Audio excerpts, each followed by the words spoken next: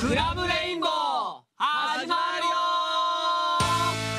なるほど。ここは都内にある録音スタジオ。アニメ「虹色デイズ」のアフレコがいよいよ始まりましたよ。で宣伝で配ってたんだ。もしかしてもあるかなって。今をときめく声優4人が等身大のキャラクターたちに命を吹き込んでいきます。ひどいよ。えー、泣くのガムあげるよ。なっちゃん大丈夫だよ。誰だって一度や二度失敗するもんだよ。お疲れ様でした。お疲れ様でした。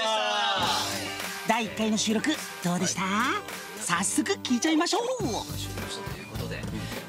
すごくやっぱ1話って緊張するんですけど、まあこのみんながいたからレインボーなみんながいたから頑張っていけたなとあのついに始まったなっていう感じですね。あのまあボミットドラマ CD と。あの長く続けさせていただきましたけれども、アニメにもキャスティングしていただけたっていうところは ありがたいですし、まあ一緒に作っていったというかね空気はねっていうのがありますからやっぱりそうやって任せていただいたからには全力で、責任感もね。そうですよ。責任感。出てくるというかね。頑張らないと。本当に重いものがありますよ、だって原作のファンの皆さんは、ん。だから今まで僕らしかやってないからずっと僕らがやってるから、ずっとキャラクターたちの声を僕らのやったもので思い描話ですよそんなだなんてね、本当に。からねそういう何よりもこうやっぱりずっと聞いてくださってる原作ファンの皆様だったりね、あとはこのアニメを見て原作も読みたくなって好きになるっていう方が、そうそうすごく納得してくれて、心からいいなって思ってもらえるものにやっぱしたいなっていうのは。絵を見てもう原作の絵がそのまんま動いてるなっていう風に感じて、これだったら原作読んで面白いなって思った人がアニメ見てもさらにあこれもいいなって思ってくれるんじゃないかなという風な。松岡君がこういうね、やっぱキャラクターがいいから。みんな松岡君愛に溢れてる。そう。ね本当ね、お前いいよ松岡。そんな松岡愛を受け止めたご本人から重大発表があります。虹色デイズが始まるにあたって、なんかこう盛り上げるために何かが立ち上がったっていう、ああ聞いたことがある。ね、なるほど。あれね。さっき聞いたやつですね。さっき聞いた そうです。クラブレインボーというスペシャルな番組が始まったんです。クラブレインボーとはアニメ「虹色デイズ」の声優4人に密着。虹色ボーイズたちが虹色気分になってアニメを盛り上げるとっておきでスペシャルなバラエティ番組。バイバイ。せっかくの人生に一度の体験だったのに半分以上景色見れてないですよ。記念すべき第1回はアニメ「虹色デイズ」の舞台である札幌から。皆さんこんにちは。僕が今日なぜこの格好でなぜなぜ札幌にいるのか僕全く聞かされておりません。すっごい寒いです。T シャツにハーフパンツですよ、ええ。はあしかも麦わら帽子に網まで持って。ごめんね。スタッフが少し寒いって伝え忘れちゃったね。まあそれは置いといて早速番組からのミッションです。メール。アニメ「虹色デイズ」に登場する川の土手を探してください。証拠写真撮影も。どうですかね。特別に地図も用意しましたよ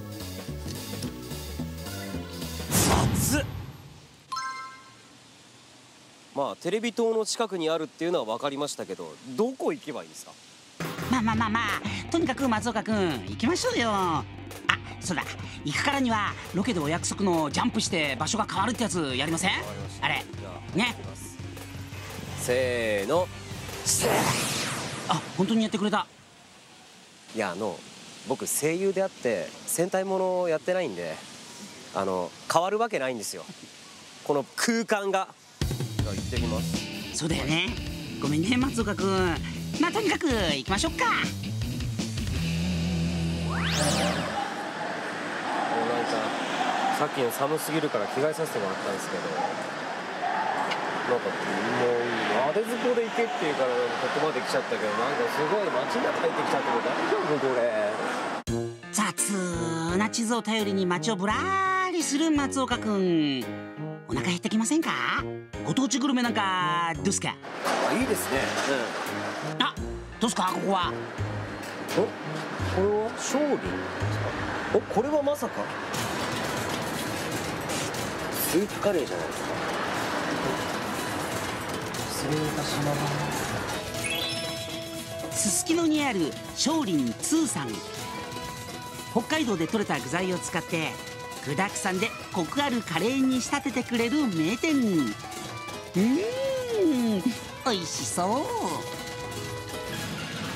すいません。はい。ここは1番から30番までの辛さのバラエティが売り。じゃあそうですね。20番で？20番で？はい。20番いきますか。はい。あわかりました。ありがとうございます、じゃあチキンベジタブルカレーの20番で。はい。はいかしこまりました、はい。お願いいたします、実は松岡君大の辛いもの好き。特にカレーの辛さにはこだわりがあるんだそうですよ。はい、すみません。お待たせいたしました、チキンベジタブルカレーのはい。辛さ20番になります。うわはい、どうぞ。ー。美味しそう。チキンベジタブルカリー。コクある激辛の20番です。わしは無理スープから行かせていただきます。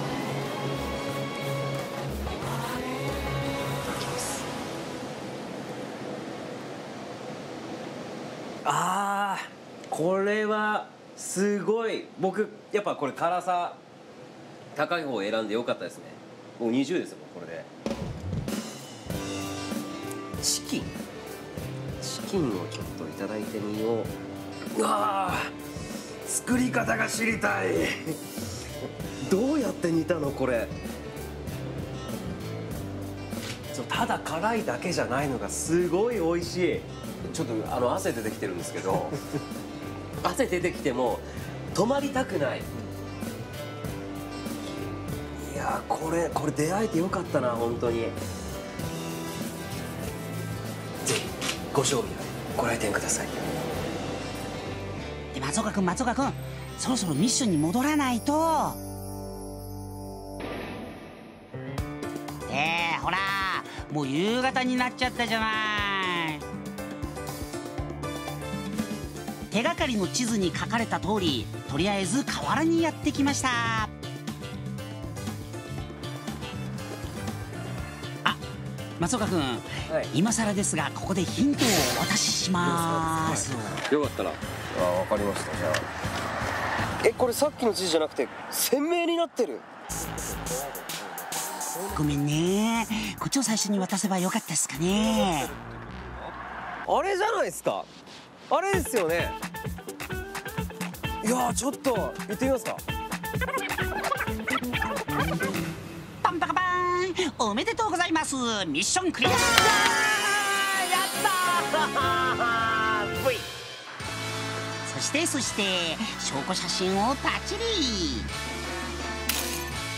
松岡君どうせなら虹色気分をさらに味わいませんか？ちょっと僕なんかでいいんですか？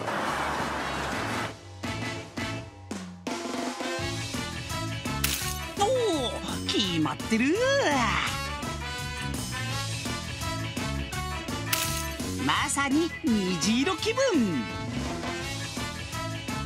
ここにみんなが座っていたその場所に来られたということで、えーそうですね、まあ、次のアフレコも、えーまた新鮮な気持ちで、えー演じることができるのではないかなと、えー思っております。どうなることかと思ったんですけどいや本当に無事に、えー終われてよかったなと思っております。ありがとうございました。いやいやいやいや松岡君これでは終わりませんよ。このお手紙は？これは？さあさあさあさあ読んでみてください。まさか表彰状みたいな感じなんですか？さあさあ早く新しいミッションですよ。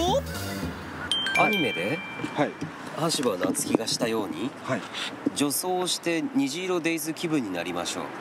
これはあのアニメで夏樹くんがやったような女装ってことですそうですそうですまさかくんアニメで夏樹くんがやったように女装して虹色気分で盛り上がりましょう。よろしくお願いします。ということで次回はクラブレインボーの他のメンバーたちがセレクトした服でクラブレインボーファッションショーを開催いたします。どうぞお楽しみに。信長あいつも許すまじ